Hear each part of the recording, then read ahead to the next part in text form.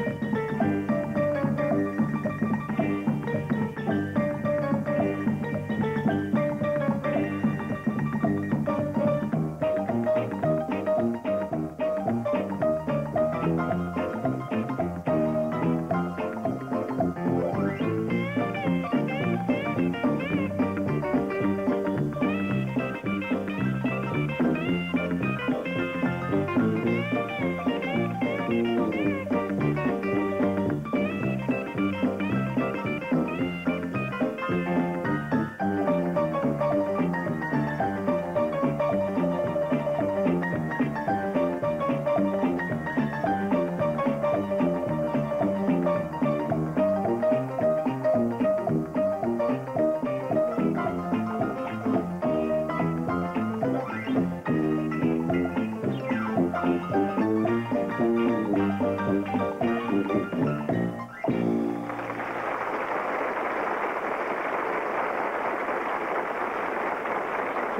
Castle, can she play that piano?